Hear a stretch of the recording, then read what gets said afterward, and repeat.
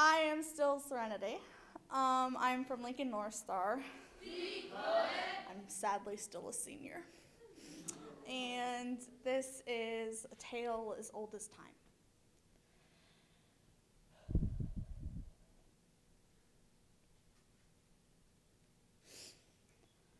Flesh and blood blossoms. Some of us barely hanging on. My family. We are roses preserved in a glass case. There is no beauty without the beast inside acknowledged. Our story is well known. My mother is the beauty.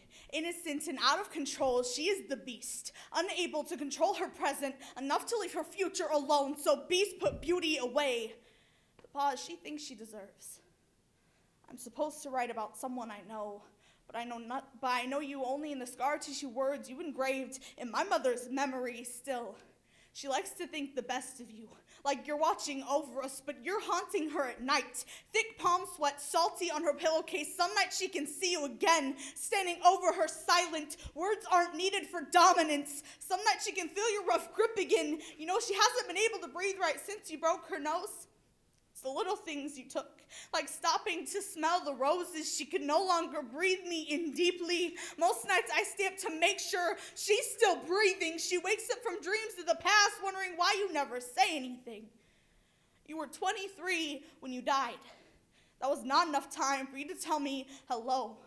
I love you. I'm proud. You're my daughter. I was spoon fed a mixture of my mother's worst nightmare and the absence of a father. I use the term passed away on everyone but you.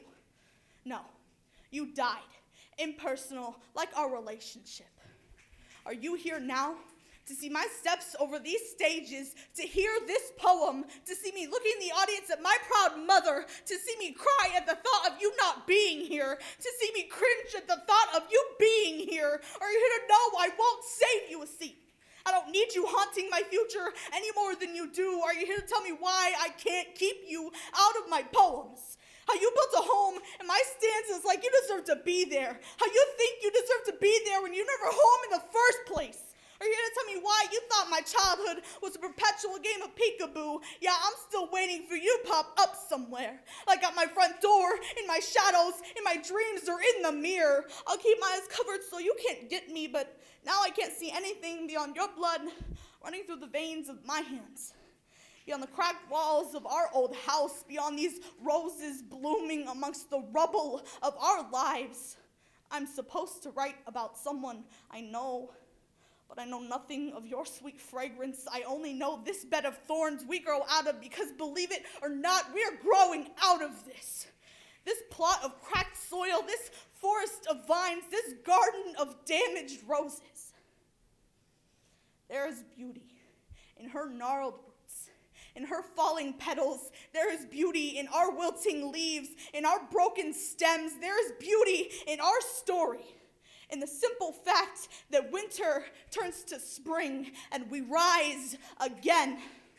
Thank you.